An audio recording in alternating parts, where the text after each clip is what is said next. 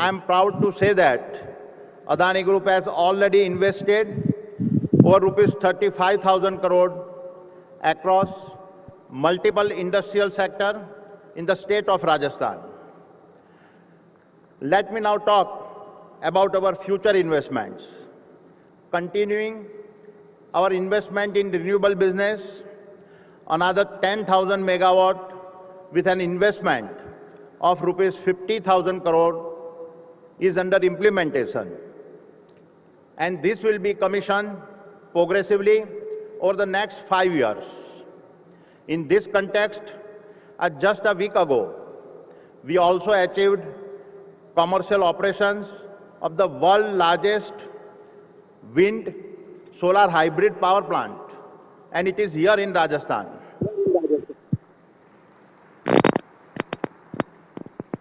Following our acquisition of Ambuja Cement and ACC, we are now the second largest cement manufacturer in India. While we already have a three plants and a limestone mining asset, a significant part of our capacity expansion will continue to happen in Rajasthan. We anticipate investing another 7,000 crore rupees to double our cement manufacturing capacity in the state. There is more. Other projects in various stages of execution and expansions include expanding the Jaipur, and Jaipur airport into a world-class facility, developing our networks to supply PNG and CNG and accelerate cleaner fuel availability to industrial, commercial, transport, and domestic consumers.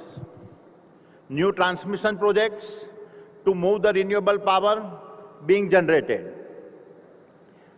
Combining all ongoing and future investments, we anticipate investing an additional rupees 65,000 crores in Rajasthan over the next five to seven years and creating over 40,000 direct and indirect jobs.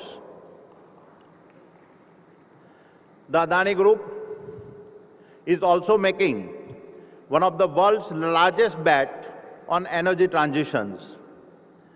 In this process, we are betting on green hydrogen, given our ability to generate the most inexpensive solar and wind power, I believe this opportunity to generate green hydrogen to transform Rajasthan deserts into an oasis of jobs enabling energy transitions is an opportunity that no other state has.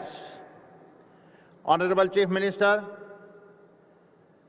this will be yet another game changer aligned with your vision for the sustainable industrial development of Rajasthan.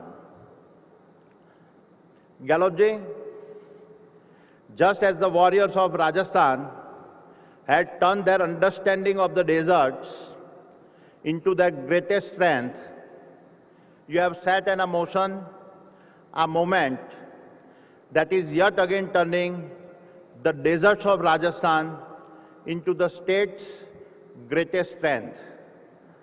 I wish you and your team all the very best. Thank you. Jai Hind.